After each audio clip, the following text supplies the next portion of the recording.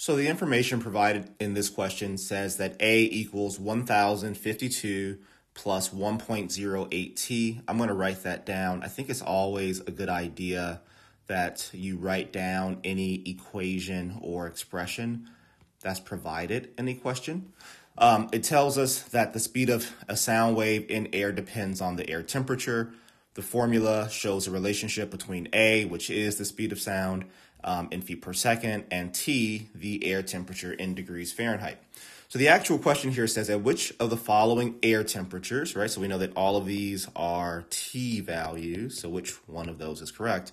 Uh, will the speed of a sound wave, so the A, right? Because we were told that A is the speed of a sound wave, will be closest to 1,000 feet per second. So we're looking for A to be just about 1,000 feet per second.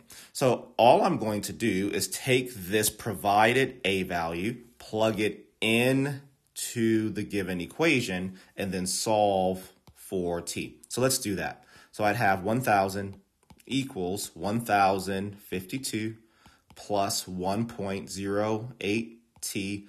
I'm going to subtract 1,052 from both sides in order to uh, isolate the T variable.